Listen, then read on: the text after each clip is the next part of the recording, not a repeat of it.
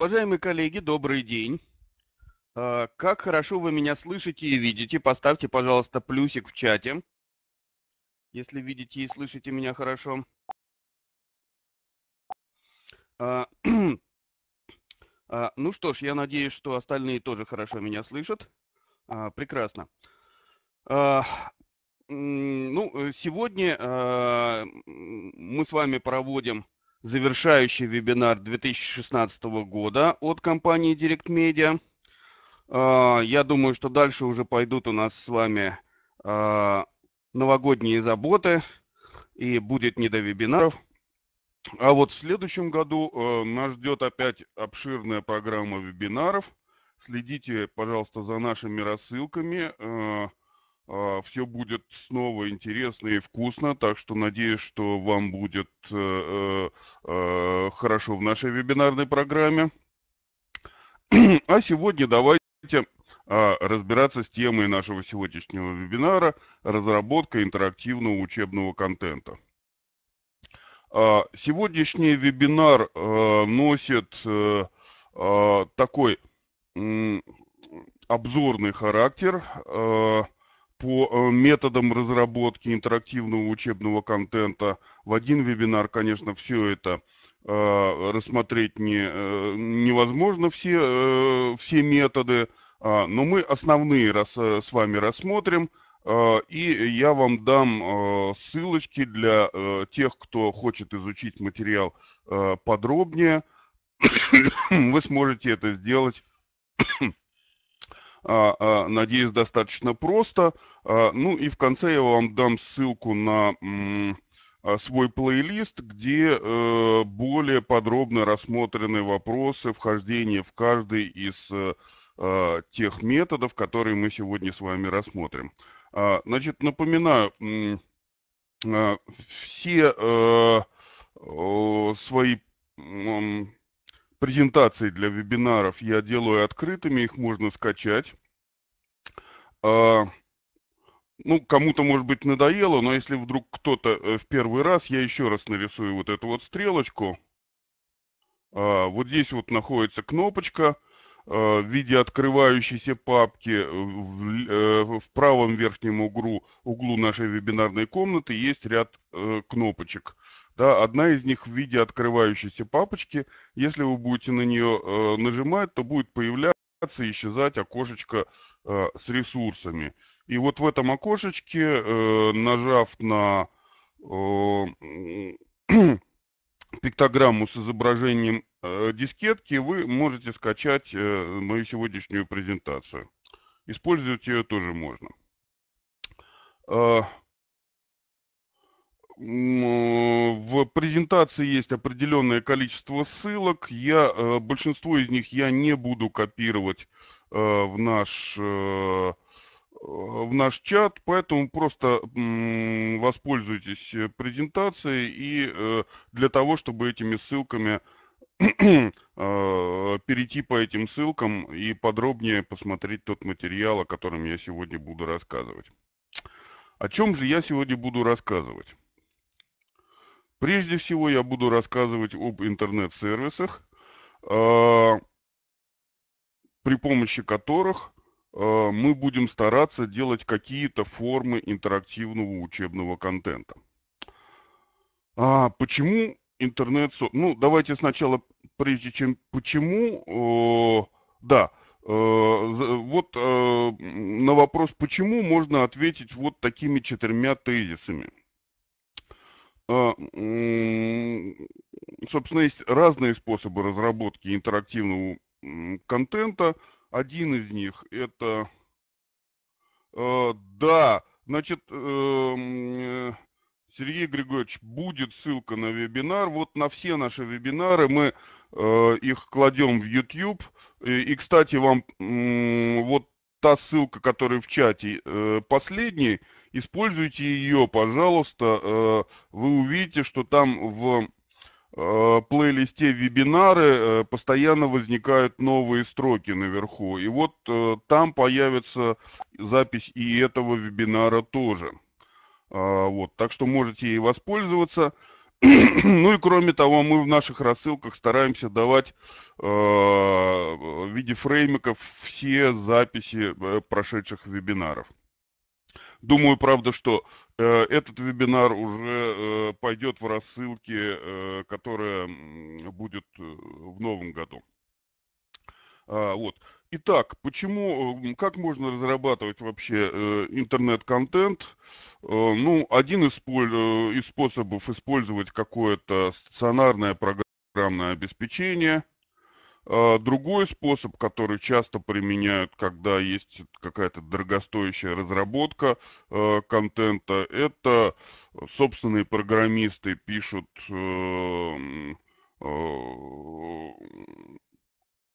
к, к, вашему контенту пишут некоторую обвязку специфическую для вашего контента, и в ней уже применяются интерактивности такие, как э, вы задумали. Иной раз это хороший путь. Ну, во-первых, э, на каждый случай не, э, не напрограммируешь. А во-вторых, ваша собственная команда программистов, насколько бы она ни была креативной и э, талантливый не может охватить все способы э, интерактива, которые существуют, и придумать э, э, визуализации для всех случаев контента, которые у вас есть. А, поэтому самый естественный путь э, на наш, э, вот в данный момент времени, это, скажем так, в наше время, это использование интернет-сервисов интернет-сервисов, который совместим с вашим э, основным контентом при помощи э, при помощи обла облачности. Э, другими словами, контент, который формируется, э, внешний вид которого формируется при помощи движка а, лежащего где-то в сети, а отображается на компьютерах ваших пользователей. А, итак, все-таки почему интернет-сервисы? Э, во-первых, потому что в последние 10 э, лет уже, наверное, мы э, переживаем взрывную революцию медиаформатов, когда концепция мультимедиа сформулирована сформулированная еще в 80-е и 90-е годы прошлого века, а, пошла уже, ну, скажем так, в широкие массы и э, пошла через сеть, через интернет.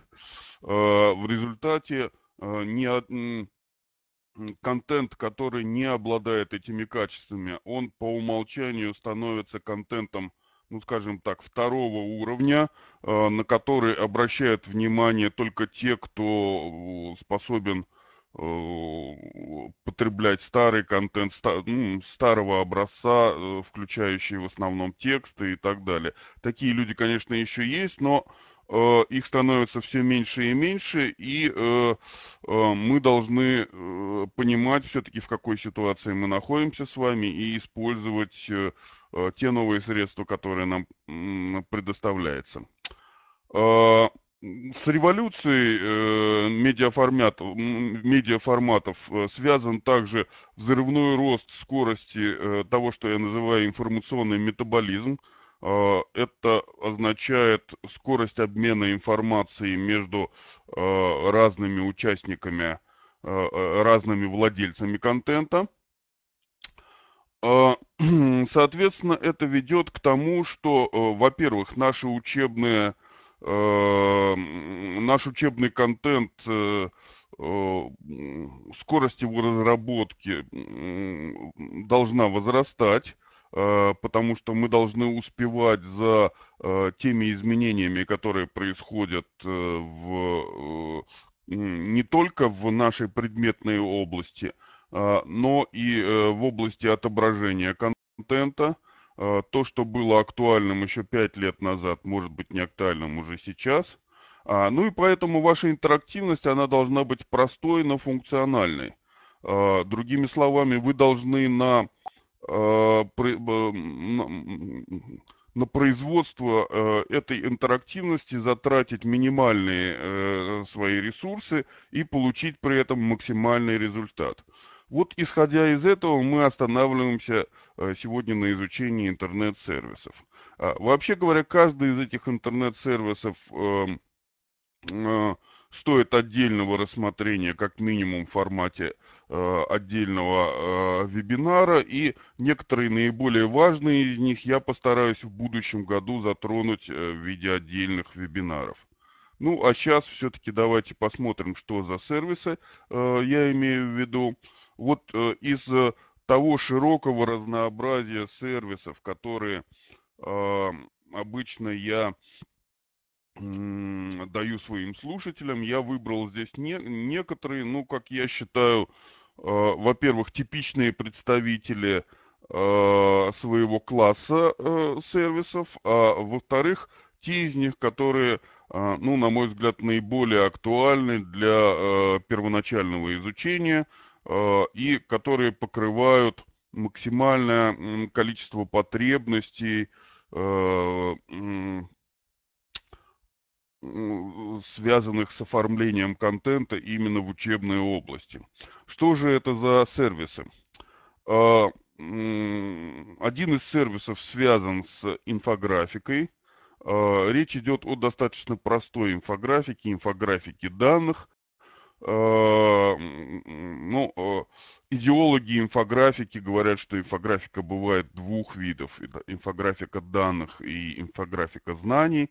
Э, первая область покрывает потребность в отображении, в визуальном отображении данных и позволяет донести до наших слушателей лучше Э, ту цифровую информацию, которая есть в вашем учебном контенте. А что касается инфографики э, знаний, тут более сложная вещь. Тут э, передача образов, каких-то смыслов при помощи визуальных образов. Вот для этого придумать инфографику и тем более автоматизировать производство инфографики гораздо сложнее. А вот первый путь, первый Первый э, вид инфографики, инфографика данных, тоже, кстати, очень важный вид инфографики.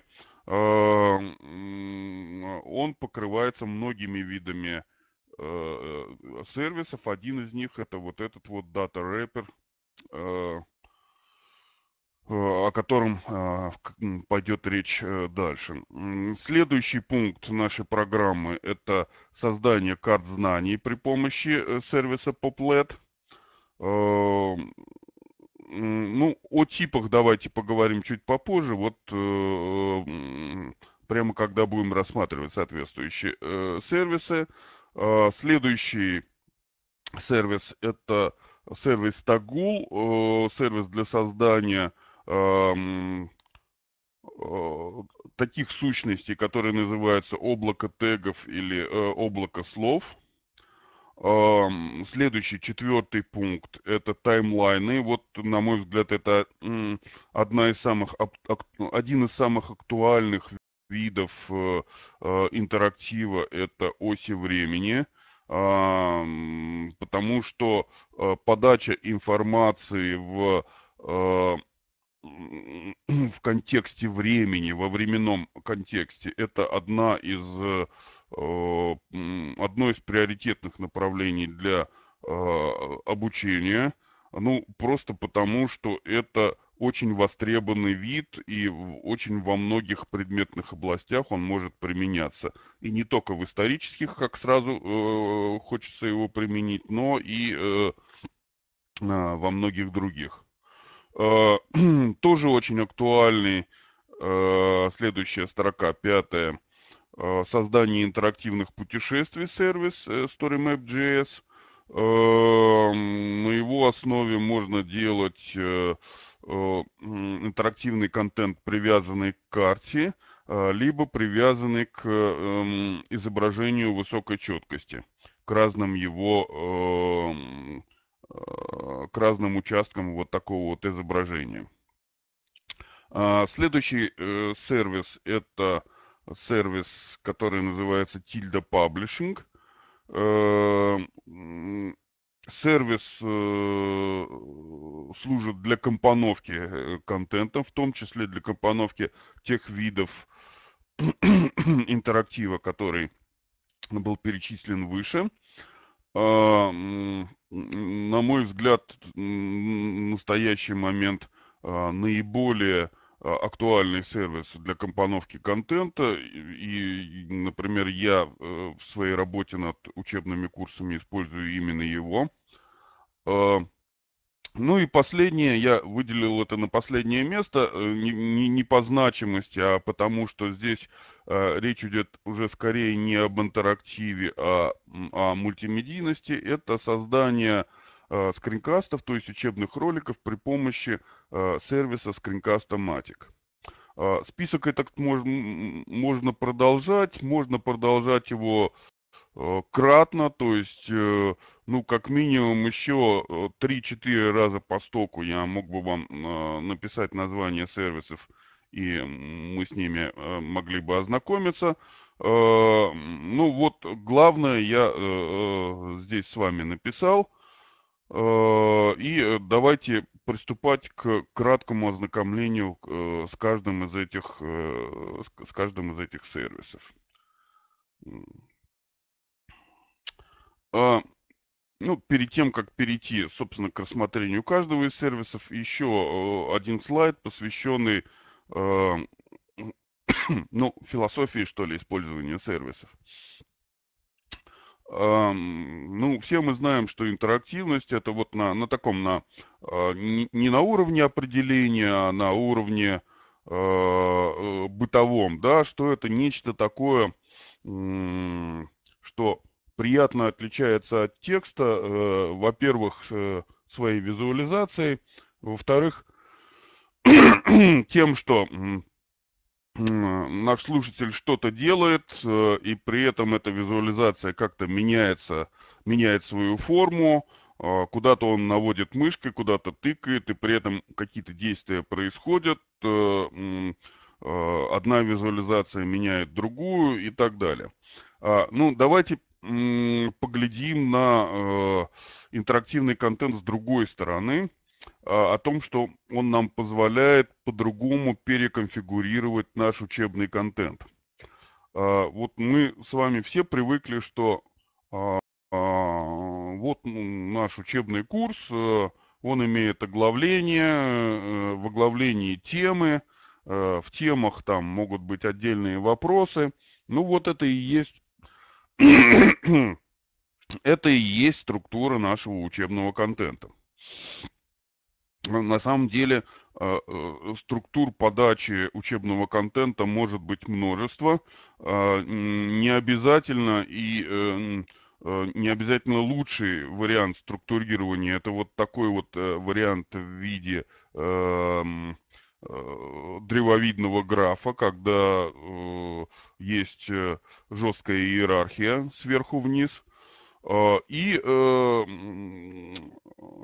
сервисы и интерактивный контент, и в частности названные сервисы, это один из способов иной подачи информации.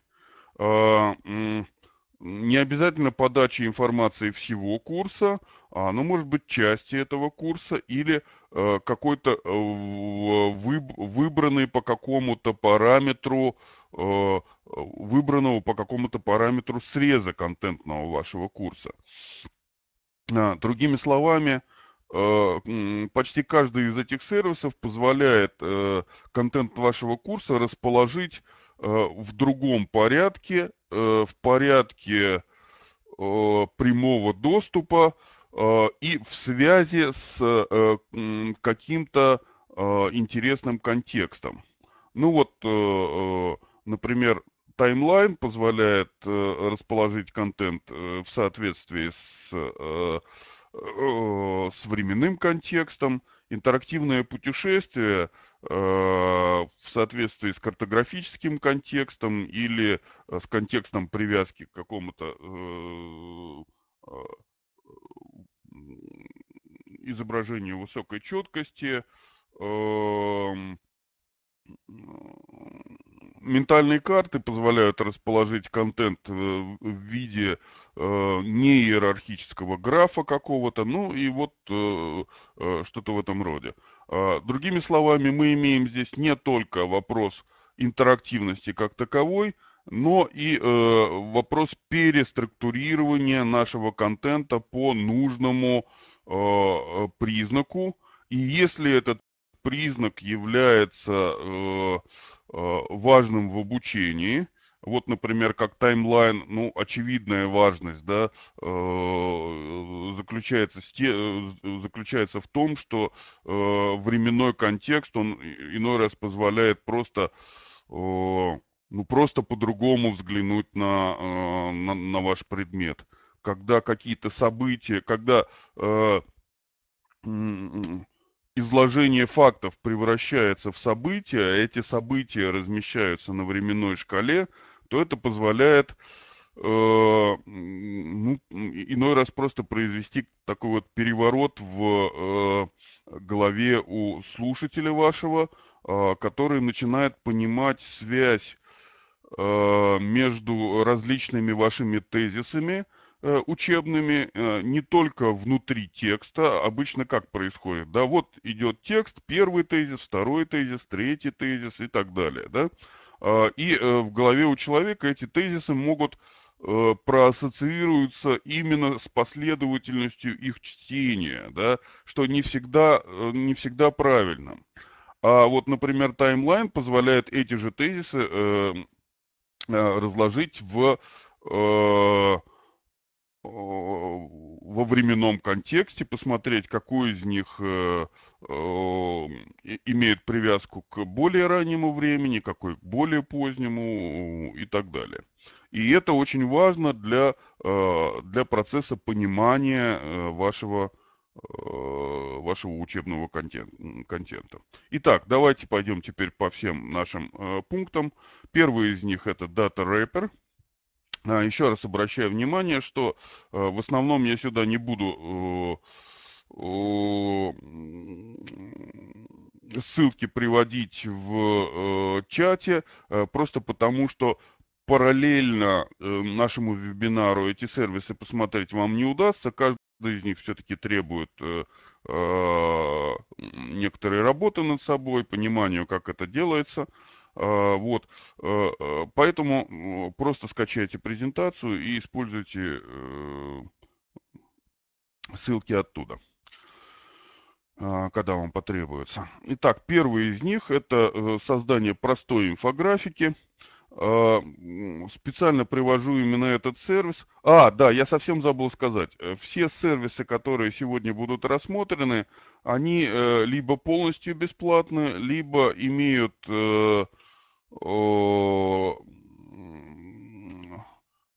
имеют в, среди своих тарифов бесплатный тариф, который вполне функционален. Вот. Итак, вот первый из них это вот этот вот Data Wrapper. Чем он приятно отличается? Простотой своей. По сути дела, все, что вам надо, это сначала сформулировать, э, сформировать свои данные в виде Excel-таблички, потом эту табличку перенести вот в такое поле, а после этого происходит такая интеллектуальная работа э, внутри сервиса. Э, вот когда вы переходите с уровня 1 на уровень 2 проверки данных, э, сервис пытается э, понять, как лучше ваши данные представить. Э, Э, ну, в частности, пытается понять э, э, в этой табличке ваши колонки и строки, какой имеют смысл и что из них взять, ну, в частности, за ось X, а что за ось Y. Вот, и пытается предложить вам сразу какой-то вариант визуализации. Вы можете Э, э, вариант отвергнуть, выбрать другой, выбрать э, другую координатную привязку. Все это делается небольшим количеством настроек. Ну и конечный результат, он в виде кода, так называемого embed кода, помещается в ваш, ваш контент и отображается внутри вашего контента. Ну, вот так может быть выглядит визу... какая-то из визуализаций. Вот я, например, тут у меня есть сайт, который называется «Русский биографический словарь». В нем э, около 15 тысяч э, исторических русских биографий. И вот э, в том числе есть данные по, года, по месяцам жизни и смерти э, людей, которые в эту биографическую энциклопедию вошли. Ну и вот я при помощи этого сервиса составил график смертности по месяцам. А, ну и вот мы видим, что достаточно естественные э, данные, что летом смертность э, примерно процентов на 20-30 э, ниже, чем зимой и ранней весной. Видимо, это действительно отражает те естественные процессы, которые связаны с погодой, с прочими какими-то вещами. Ну, еще раз повторюсь, это на историческом материале. Не берусь говорить, что э, э, это действует э, в наше время. Ну, вот такой вот получился график у меня. С провалами где-то в районе июля-августа и с большими выступами в районе января-февраля. Вот, ну вот, э, это простейший, простейший вид графика, там есть и другие виды этих графиков. К сожалению, Data Wrapper э, перенес часть своего функционала из э, из бесплатного своего. Раньше у него был э, замечательный бесплатный тариф. Э, сейчас, к сожалению, бесплатным тарифом э, немножко труднее пользоваться, но все равно этот сервис стоит того, чтобы его изучить и, и посмотреть, как им пользоваться. Следующий сервис, которым я хотел бы вам рассказать, сервис, которым я Э, активно раньше пользовался и сейчас тоже пользуюсь. Э, это Poplet.com. Э, сервис для создания карт знаний. Карты знаний представляют собой, это вообще обширнейший эм, вид интернет-сервисов и программного обеспечения. Дело в том, что ментальные карты очень популярны на Западе. При помощи их можно а, работать с группой, можно выдвигать какие-то идеи первоначальные по компоновке и структуре проектов. Ну, а мы здесь э, рассмотрим вопрос компоновки контента при помощи э, ментальных карт, то есть э, компоновки вашего ну, условно, вы знаете, я э, буду применять слово курс, но э, э, сам я слово электронный учебный курс не очень люблю. Э, я считаю, что электронный учебный курс это сущность, вызванная э, скорее э, инерцией нашего мышления, э, связанная с э, обучением по дисциплинам, с одной стороны, а с другой стороны, э, чисто финансовыми, финансовыми вопросами, э, связанными с тем, что вот э, единица учебного контента в виде курса, ее удобно позиционировать и продавать. А вот э, с методической точки зрения говорить именно о курсе как о главной единице учебного контента не стоило бы, потому что Э, ну, во-первых, современное обучение, оно непрерывно, э, оно имеет огромные междисциплинарные э, связи, и именно в этих связях и находится все самое интересное. Вот, и его совсем, его очень трудно делить на вот эти вот такие вот куски, как мы привыкли. в том числе и вот единица потребления минимального учебного контента, она в соответствии с тем, что я раньше сказал, с медиареволюцией, она сокращается. А, поэтому я, конечно, буду употреблять слово учебный курс иногда, но а, на самом деле а, я больше хочу говорить о, об учебном контенте вообще. Когда-то это может быть э, кусок учебного контента на полтора часа, когда-то на тысячу часов. Не знаю, вот это касается э, э, любого из этих случаев, да, поэтому давайте вот еще раз э, хочу сказать, что когда говорю слово учебный курс, понимайте, пожалуйста, это э, достаточно условно, а не обязательно вот в виде учебного курса, как, э, допустим, семестровый курс, который студент проходит. А, итак, ну вот после этого отвлечения небольшого продолжу. Э, карта знаний позволяет ваш учебный курс э, переструктурировать несколько по-иному. А, например, если раньше вы э, располагали э, все темы вашего курса строго последовательно, то теперь вы можете создать сложный граф, э, в котором отношение этих тем и отношение тезисов внутри каждой из этих тем будут иметь достаточно сложный характер графа в общей форме. А, так вот, э, вы, мой выбор Poplet, э, сервиса Poplet, он как раз заключается в том, что Poplet позволяет рисовать э, и э, уконтенчивать, да, то есть наполнять контентом э, ментальные карты в общем в виде общих графах. Ну вот э, пример такого небольшого графа, точнее участка графа, э, такого э, с более сложными э, связями, нежели последовательные. Это вот мой учебный пример, э, который я всем даю. Это э, рассмотрение вопроса э, э, войны Наполеона против России в 12 году. Э, ну, конечно, не подробное э, рассмотрение, а чисто учебное, содержащее всего э, пару десятков э, или там полтора десятка вот таких вот узлов.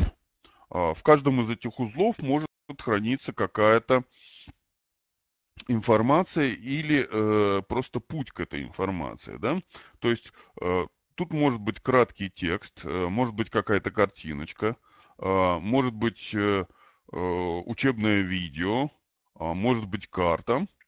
Ну вот, пожалуй, и все, да, может быть звук какой-то еще, да.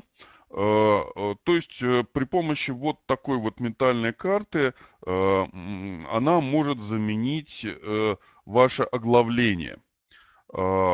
И студент сразу будет понимать, как распределяются связи между различными частями вашего контента. А ведь э, ваш э, внутренняя, внутренняя логическая часть внутри, э, внутренние логические связи внутри вашего контента, они совсем не повторяют горизонтальную структуру э, или иерархическую структуру ваших тем и тезисов. Э, как правило, внутри Э, разных частей вашего контента существуют более слабые или более сильные связи. Там, э, например, какие-то главы, там, вторая, третья и четвертая главы между собой гораздо сильнее связаны, чем э, там вторая с десятой главой, например, да. Вот, вот именно эти внутренние связи вы можете нарисовать при помощи вот этого сервиса. А, нарисовать можете с дву... Э, для двух целей.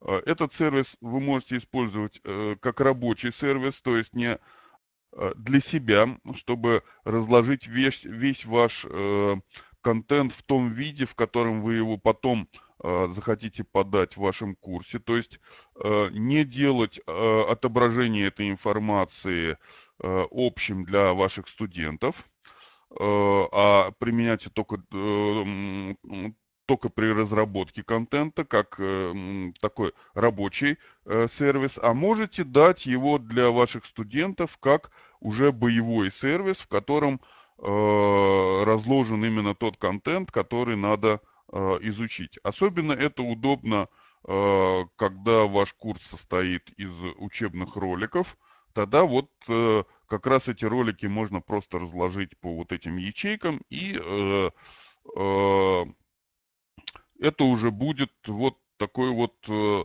э, граф, э, граф вашего контента, из которого весь ваш курс можно, можно изучить, обходя последовательно те узлы, которые больше связаны друг с другом.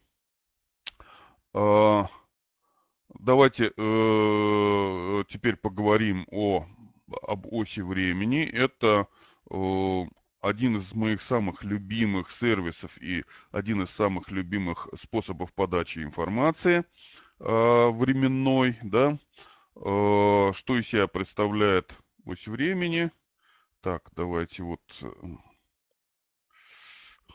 ну вот здесь, к сожалению, нет времени подробно рассмотреть вообще сам принцип э, э, оси времени, Эм, а, наверное, на него надо было бы потратить минут 15 просто для того, чтобы э, посмотреть разные варианты осей и э, понять, насколько хорошо они, э, насколько хороши они в приобретении вашими студентами цельные картины внутри вашего предмета. А, ну, разумеется, прежде всего, э, любые оси времени, они хороши для предоставления, э, для представления какой-то исторической информации. Не обязательно это предмет история, э, это может быть развитие вашего предмета, который вы преподаете в историческом аспекте. Ну, например, если это химия, то это процесс открытия разных элементов или процессы предшествующие э, и э, сам процесс создания периодической системы элементов. Э, очень много процессов, которые, ну, собственно, в любой науке есть история науки, да, и она занимает определенную, часто достаточно большую часть самого предмета. Вот в этом случае Э, оси времени, они просто идеальны. А, но и в более сложных случаях это может э, быть интересным, а, например, уже для представления а, информации просто какого-то процесса э, в развитии. Просто какого-то процесса в развитии. Ну, например, для физики это может быть процесс, процесс распада ядерного Э, ядра, ядра атома, которые делятся на этапы какие-то. Все, что можно поделить на этапы, можно показать и в виде оси времени. Например, поглощение фотона, Первый, первый этап, второй – это возбуждение электрона, переход его на другую орбиту. Третье – это какое-то время, потом электрон снова переходит на более низкую орбиту с, спусканием другого фотона. Так вот, 3, 4, 5 этапов, вот их можно показать на, э, на, оси, на оси времени. Э, ну, например, для э, экономических наук это развитие какого-то закона, да, вот, например, появление и исчезновение каких-то статей в Конституции или в каком-то ведущем кодексе а, можно показать вот таким вот образом. А, в общем, э, просто неисчислимое э, количество различных поводов для того, чтобы э, нужно только приложить мысли для того, чтобы как его использовать именно в вашей дисциплине, и он обязательно может вам пригодиться. Ну, как это выглядит? Э, оси времени выглядят по-разному. Э, вот Timeline.js, например, это ось, на которой, вот она, здесь давайте я нарисую, это главная страница сервиса. Сервис абсолютно бесплатный и даже не требует регистрации. Вот этим он хорош. А, вот здесь вот такой вот э, слайдер, который можно двигать. А, снизу тут еще располагается э, шкала. И вот э, все эм, события, они располагаются на этой шкале и э, при помощи этого слайдера могут э, меняться. А в каждом из этих событий вы можете подгружать любой контент. Текст, видео с YouTube, звук какой-то и так далее. Вот самая простая такая вот вещь. Как это делается? Э, в таймлайне JS это делается при помощи четырех шагов. Первый из них вы скачиваете э, шаблон таблицы э, в формате Google, Google Docs. Дальше этот шаблон поступает к вам. Лучше при этом, конечно, иметь аккаунт Google.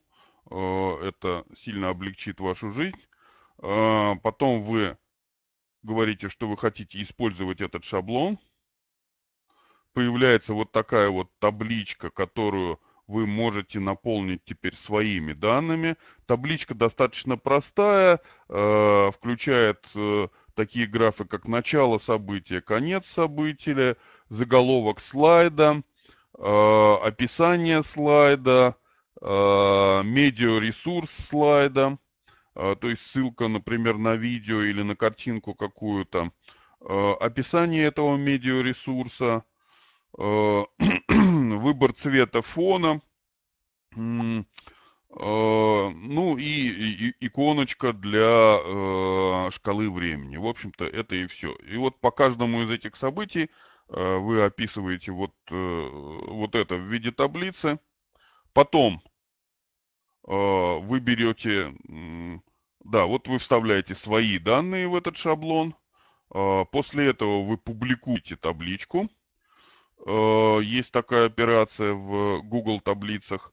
А, берете э, ссылку, которая э, в результате этой публикации получилась, вставляете ее э, в сервис. Вот эти 1, 2, 3 это шаги, и это одновременно области, которые существуют на главной странице сервиса. Прелесть еще в том, что все эти шаги вы делаете прямо на главной странице, э, не уходя с нее. То есть вот вы пришли на главную страницу сервиса, э, все сделали и получили результат, э, не уходя с одной единственной страницы этого сервиса.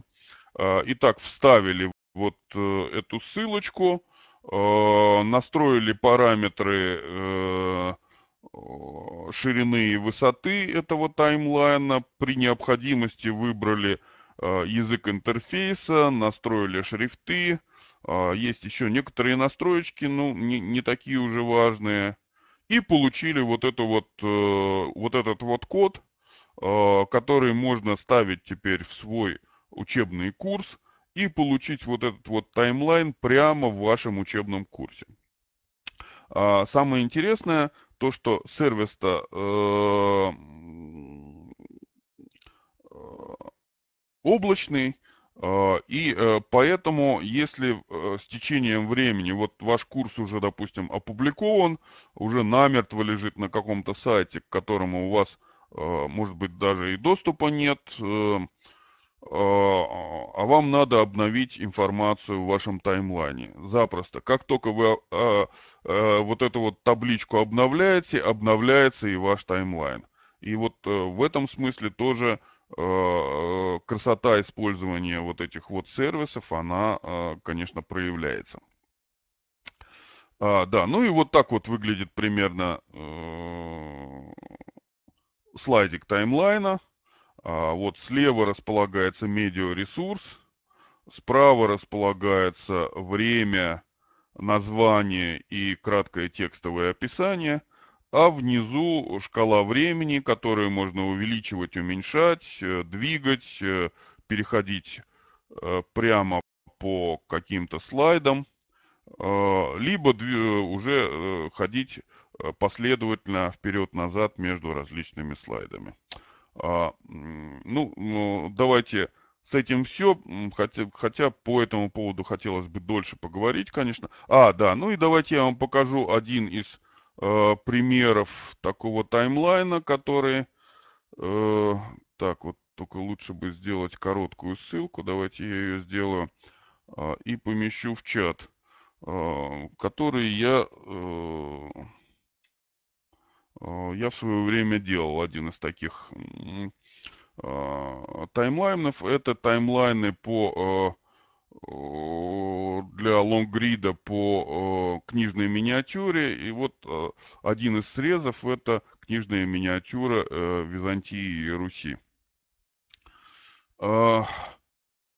Перейдем теперь к следующему виду. Э, это э, облако тегов или облако слов. А, тоже много есть сервисов, которые подобные вещи делают. Я предпочитаю сервис Tagul. А, это российский разработчик, правда, он очень сильно э, шифруется, чтобы э, э, из внутри сервиса никак нельзя понять, что он российский. Более того, он такой более направлен на Э, рынок э, зарубежный, но это и понятно, потому что э, именно за рубежом можно все-таки какую-то монетизацию получить, да.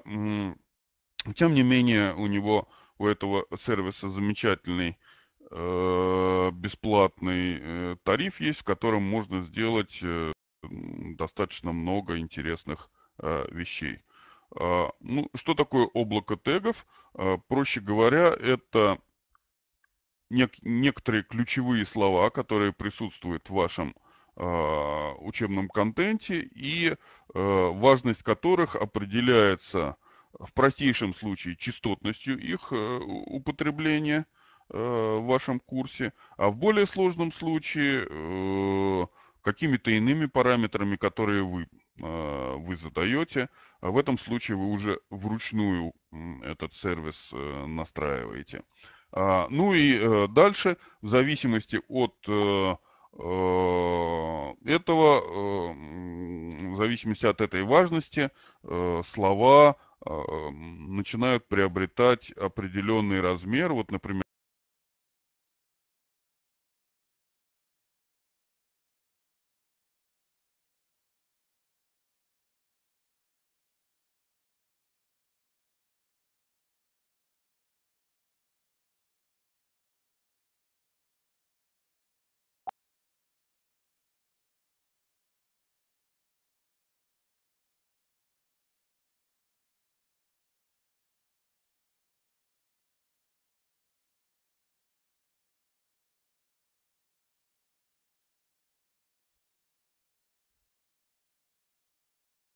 Раз, два, три.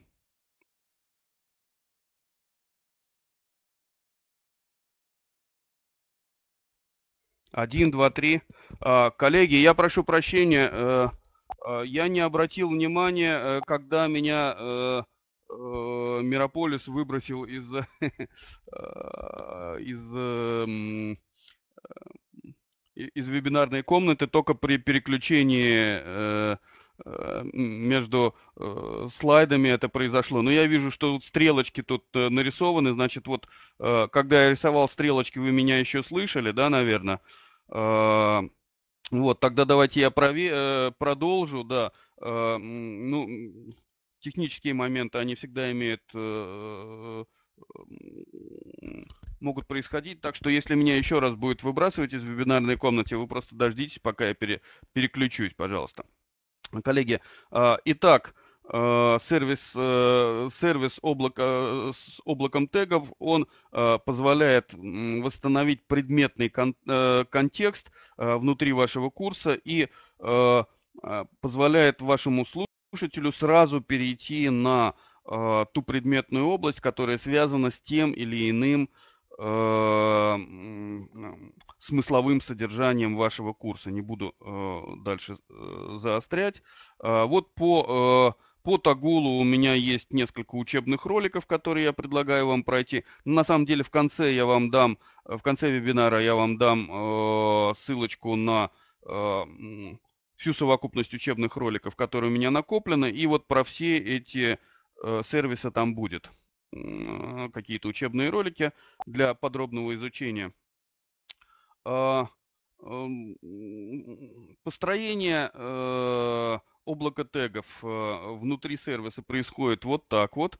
Э, вот есть область, в которой э, находится ваше, ваше облако тегов. Вам надо, во-первых, подключить ваш контент текстовый каким-то образом.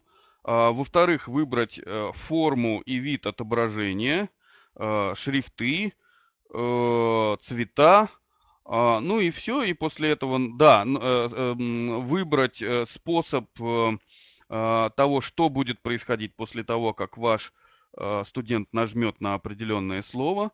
Э, ну и после этого просто нажимаете на «Сохранить» и сейчас, наверное, где-то у меня тут есть. Да, вот так вот выглядит результат конечный. И здесь вы тоже можете взять в одном в одном из пунктов меню можете взять код, который просто вставляете в свой, э, свой курс. И э, вот это вот э, интерактивное сердечко, оно воспроизводится. Интерактивность его, напоминаю, связана с тем, что на каждое из этих слов можно нажать мышкой, оно сначала навести мышкой, да, оно становится большим, э, предлагает на себя нажать, э, перейти по нему, и э, дальше происходит то, что вы назначили по этому слову. Либо переход на словарик, либо переход на поиск по этой теме, либо много-много разных других вещей, которые вы тоже можете придумать. Следующий сервис, замечательный сервис StoryMap.js. Ну, кто, вот те из вас, кто был на моем предыдущем вебинаре, а, посвященном а, интерактивному путешествию по саду земных наслаждений Иеронима Босха, тот видел, как это сделано. Делается это вот как раз при помощи вот этого сервиса. Давайте я вам дам на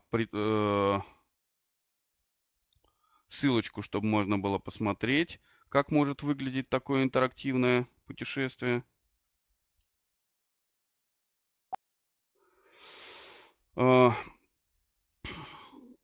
при помощи этого сервиса можно создавать э,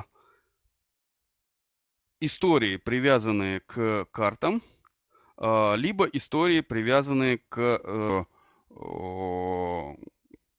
к большим изображениям, изображениям высокой четкости. Вот пример такого, такой интерактивной карты. Э, это путешествие, э, там, кажется, с востока на запад Соединенных Штатов. Э, и к каждому, э, каждой точке этого путешествия привязан определенный контентный ресурс в виде ролика, изображения, статьи Википедии, ролика Vimeo, твита, ну и всего там пару десятков а, различных медиаресурсов можно подключить а, таким вот образом. Выглядит это примерно вот так вот. Когда вы начинаете уже это листать по, по слайдам, значит, вот здесь увеличенная карта слева, а справа сам медиаресурс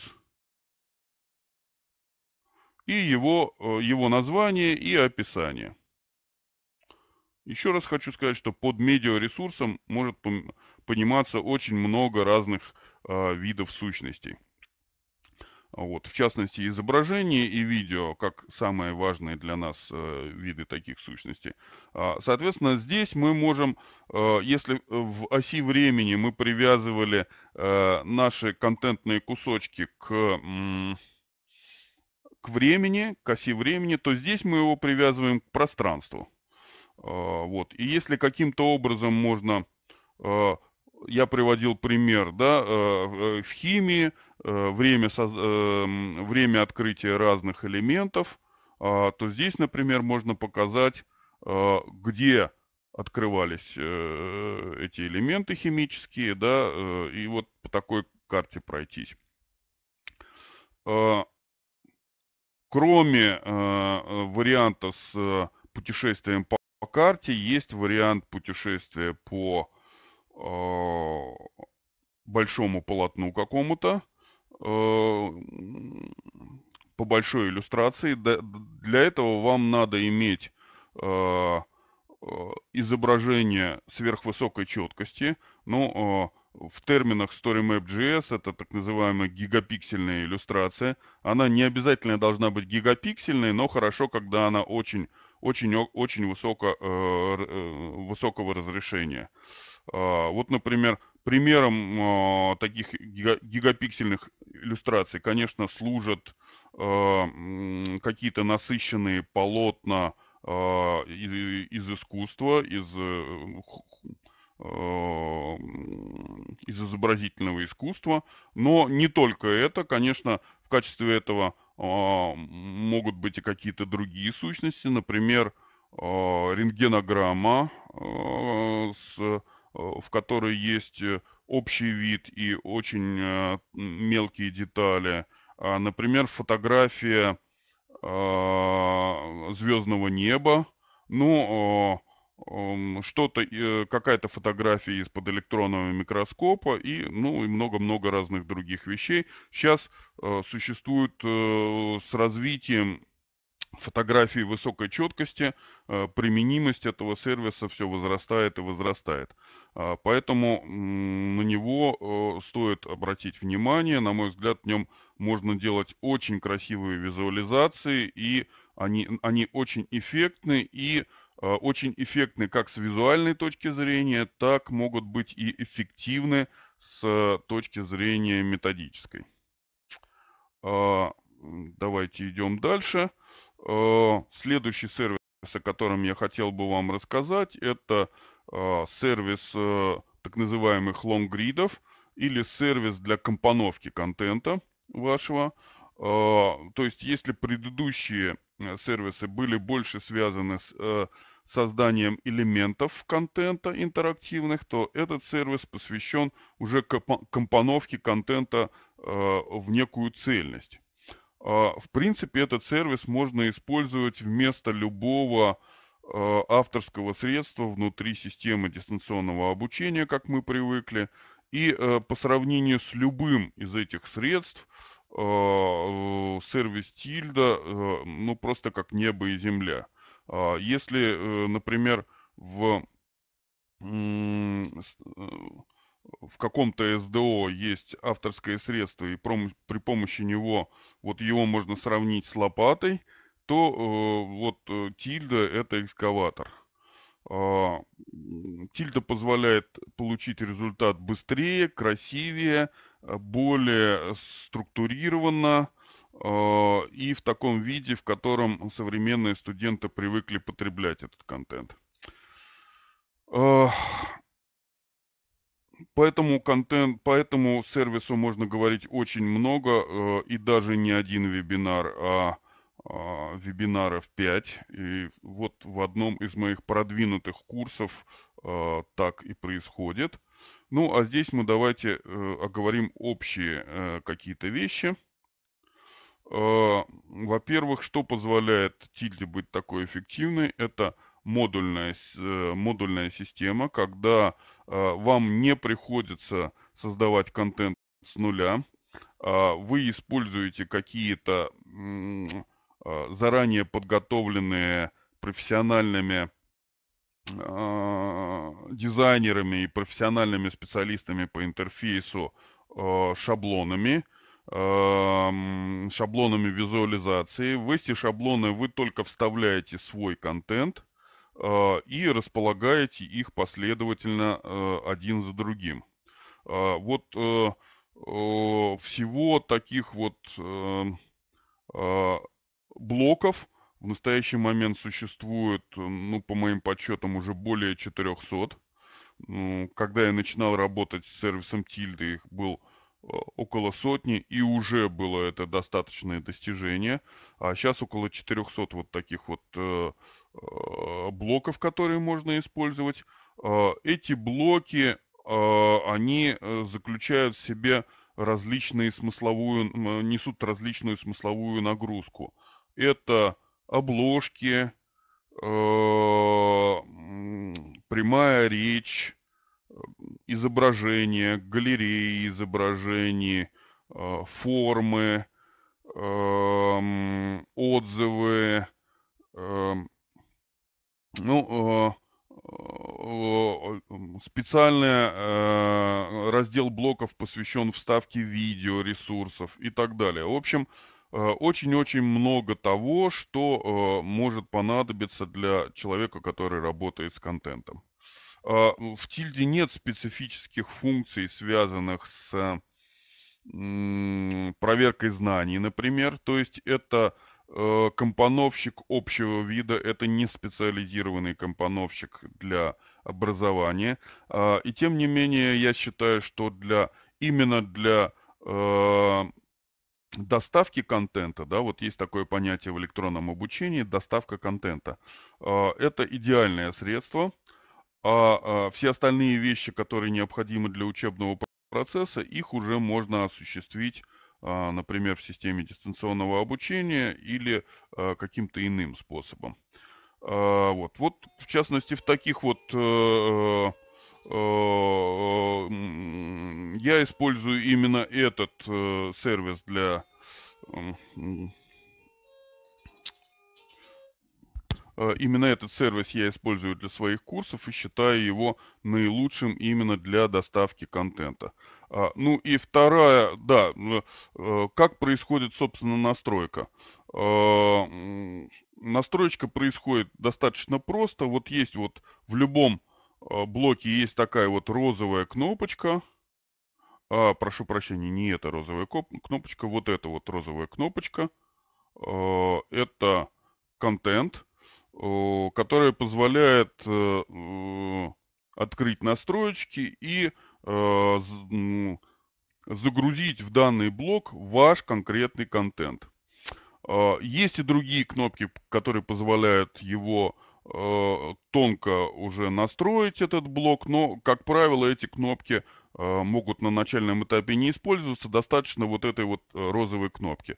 То есть действие такое, выбираете тот блок, который вам нужен, нажимаете на розовую кнопку, заполняете блок своим контентом, и все, этот блок располагается у вас на вашей, на вашей странице. А, ну и вторая прелесть, связанная с тильдо, это связано с тем, что вы а, не должны начинать с, пустой, а, с пустого экрана. Конечно, первый раз, когда вы войдете в сервис, вам покажется, если начнете с пустого экрана, вам покажется возможности этого сервиса слишком обширные, вы потеряетесь. Поэтому можно начать с одного, с одного из нескольких сотен Э, готовых шаблонов. Э, шаблоны включают уже целые наборы блоков, э, разработанных для определенных случаев. Конечно, в основном тут какие-то шаблоны маркетинговые и коммерческие, но есть несколько очень важных для нас шаблонов, связанных с семинарами, с э, проведением вебинаров, а, с электронными курсами. Уже вот такие вот шаблоны тоже есть. Это во-первых. А во-вторых, и коммерческие шаблоны, они внутри себя содержат а, достаточно хорошо проструктурированный текст для того, чтобы с них начинать работать. В общем, тут надо зайти просто и посмотреть.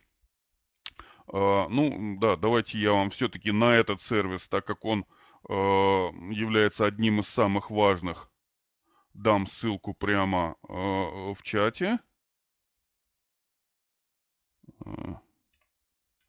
Вот э, предлагаю вам с этим сервисом ознакомиться. Да, ну и э, в этом сервисе, повторюсь, э, тоже очень-очень приличный, бесплатный бесплатный тариф. А, несмотря на то, что в бесплатном тарифе э, там у вас, конечно, не 400 э, блоков, а гораздо меньше, но тем не менее все основное там тоже есть, и с него вполне можно начать. А, ну и последнее, о чем я хотел рассказать, это говоря об интерактивности, э, совсем не говорить о мультимедиа тоже нельзя, а, поэтому вот один из главных сервисов, который позволяет тоже бесплатно нам а, создавать мультимедийные ресурсы, а именно учебные видеоролики, а, это сервис, который называется Screencast-O-Matic. По поводу учебных роликов можно говорить очень много. Ну, в частности, у меня целый курс посвящен этому. И мне те 10 тем, которые есть в моем э, учебном курсе, кажутся тоже, э, что этот объем мал. Э, тем не менее, вот давайте какую-то вводную я вам все-таки расскажу. Да? Учебное видео это один из главных наших современных способов донесения информации до наших слушателей. Э, очень важный, э, важный вид медиа, э, при помощи которого можно делать почти все то же, что можно делать при помощи текста. Ну, сам текст, конечно, не отменяется, никуда не денется, он остается важнейшим видом контента учебного, но видео это очень удачное дополнение, или даже непонятно, что, что чего дополняет. То ли видео дополняет текстовый контент, то ли э, э, текст дополняет видеоконтент, неважно. Они работают в связке. Да? А, так вот, это э, важнейший вид учебного контента, и э, всем нам надо а, начинать этим контентом, э, этим э, видом медиа пользоваться. А, и вот в качестве инструмента, э, конечно, сразу там использовать какой-то платный инструмент, в общем-то, стрёмно, да, хочется попробовать на чем-то бесплатном. Вот в качестве такого бесплатного и вполне функционального средства я предлагаю вам сервис, который называется Screencast-O-Matic. А, в дальнейшей работе, конечно, имеет смысл перейти уже на э, стационарное программное обеспечение. Я всем рекомендую э, приложение, которое называется Camtasia Studio. Ну, о нем мы сегодня говорить не будем, потому что это отдельный большой разговор. А, а вот этот сервис, он достаточно прост. Э, этот сервис позволяет записать э, ролик, э, в какой-то степени его отредактировать. Полноценного редактора там нет, но есть э, возможность убрать предыдущий кусочек неправильно записанный и записать на его, на его месте другой кусочек видео.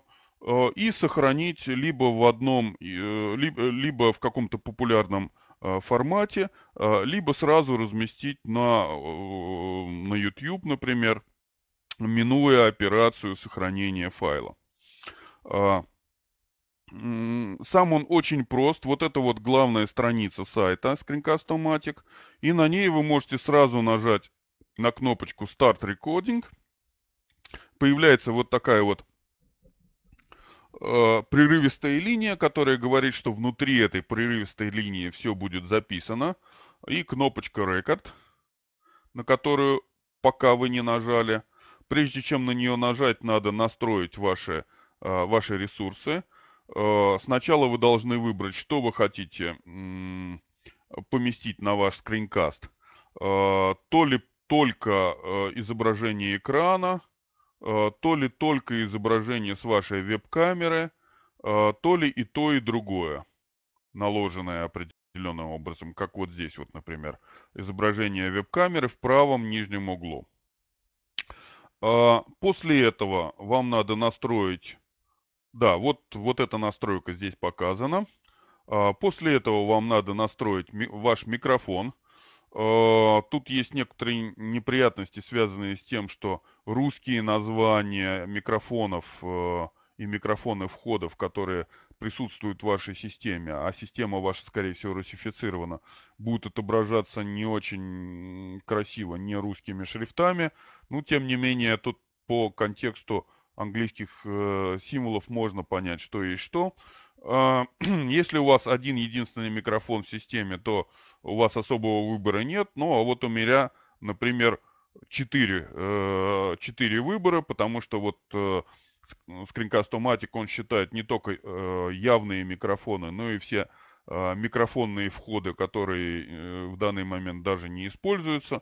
Вот у меня, например, есть, например, вот этот микрофон, есть микрофон, который располагается на моей веб-камере, и два э, входа с аудиоплаты, которые э, на передней панели компьютера и на задней панели компьютера. И вот все эти э, выходы э, честно показаны скринкастоматиком, и он предлагает выбрать один из них. Вот я выбрал э, свою гарнитуру. Э, и э, дальше я должен э, выбрать область экрана, которую я хочу э, подвергать э, записи. Э, первое, э, вы можете выбрать э, по разрешению э, 720p или э, 400p э, разрешение. Можете выбрать э, весь экран, а, либо можете выбрать э, либо можете выбрать э, активное окошко а, приложения, которого именно в нем производить запись. Ну, а также можете просто руками двигать, э, мышкой точнее, двигать вот за эти вот элементы. Вот, собственно, и все. Настроили три эти параметра. Больше есть еще тонкие настройки, их можно не трогать, они уже э, о более существенном. Э, вот нажимаем на кнопочку Record, производится счет 1, 2, 3, потом слово Go, и после этого идет, э, начинает идти запись. А здесь вы можете э, эту запись останавливать, снова возобновлять, отменять предыдущий кусок э, записи. Э, ну, собственно, и все. А в конце вы, э, да, а в конце вы просто сохраняете результат. Э, процесс сохранения здесь у меня не, не показан. Э, вот в процессе сохранения как раз гораздо больше настроек, настроек чем в процессе записи. А, я вам предлагаю посмотреть свои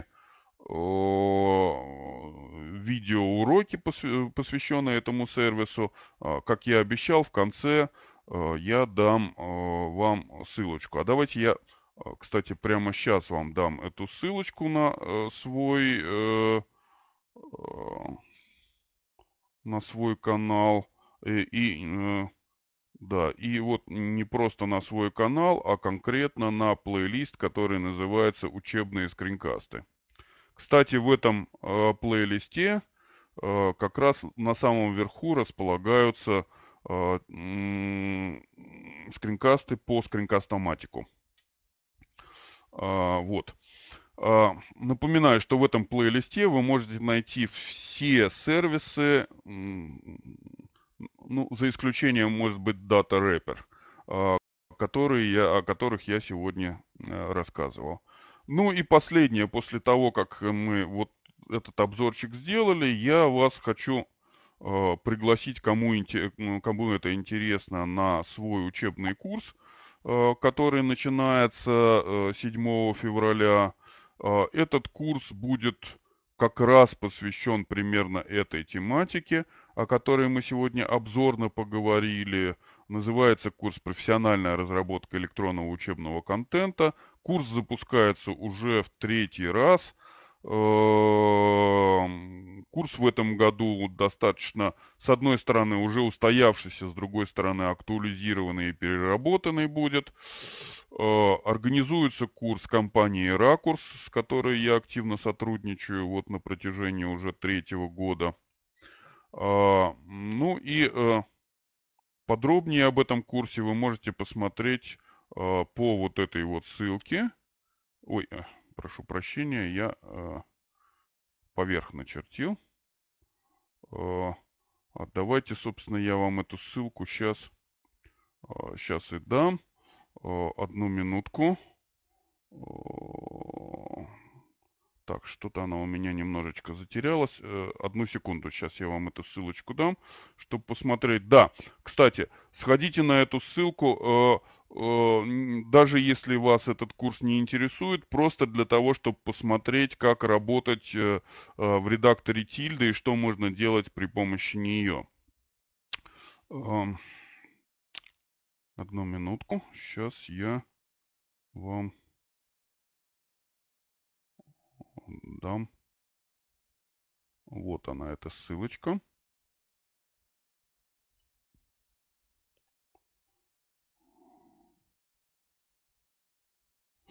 Итак, вот ссылка на курс, о котором, а, о котором идет речь. А, и, кстати, прошу обратить внимание, чтобы вы подошли с, э, вот со своей профессиональной точки зрения э, к э,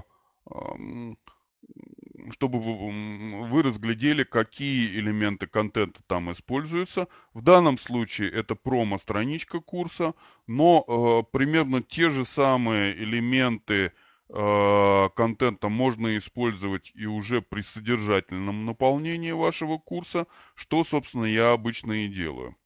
Э, вот, очень удобный инструмент, э, быстрый и э, позволяющий получить достаточно быстрый результат. Ну, а вернувшись к курсу, что он из себя представляет, это 72 академических часа, 15 э, тем, 10 из которых являются э, базовыми, а еще 5 тем э, дополнительными, они, это такая исторические темы, которые хоть и остались актуальными, но были заменены на более, более актуальные темы. Их, тем не менее, можно изучить в записи. Всего будет 10 двухчасовых вебинаров, э, огромное количество примеров в курсе. А, контент курса сверстан в виде вот 15 вот таких вот э, лонгридов. А, ну, а э, общение и выполнение домашних заданий э, по каждой теме у нас практикум а, происходит в закрытой группе в Фейсбуке. Э, ну, вот мой опыт доказал эффективность подобной, подобной формы общения со своими студентами. А, Э, что еще хотел бы сказать? А, да, в этом, э, в этом году у нас э, новшество. В каждом своем курсе я э, помещаю еще и пошаговые э, инструкции к, к выполнению практикумов. Как показывает опыт, это э, позволяет существенно повысить успеваемость э, слушателей.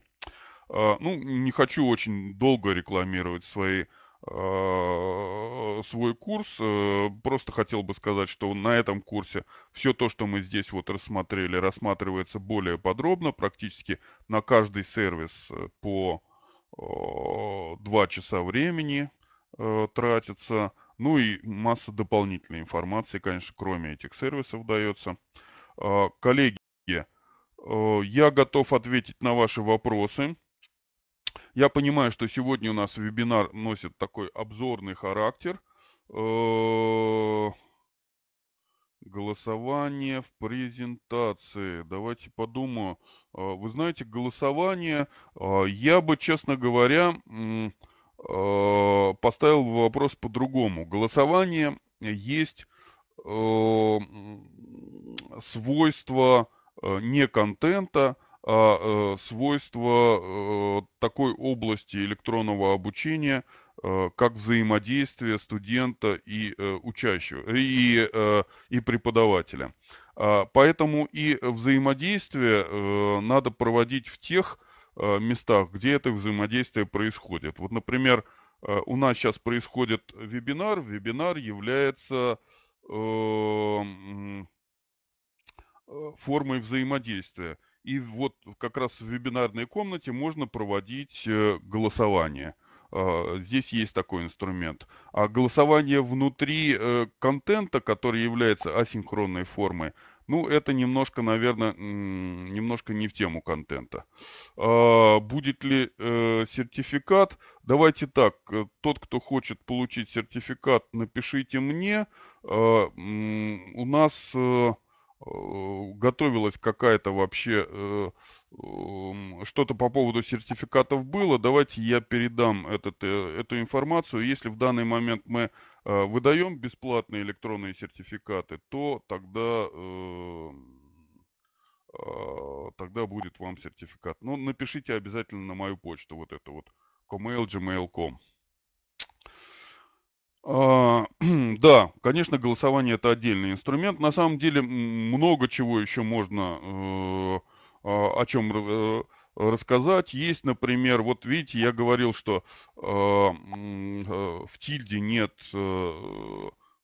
тестов, однако, например, есть еще такой замечательный сервис, не помню сейчас, к сожалению, название, который позволяет организовать и тестирование внутри, внутри вашего контента. Ну, правда, такое упрощенное, не такое, как... Это скорее больше напоминает опрос, нежели полноценное тестирование, которое в системе дистанционного обучения производится. Вот, так что и такие же Э, и такие вещи тоже есть. То есть, конечно,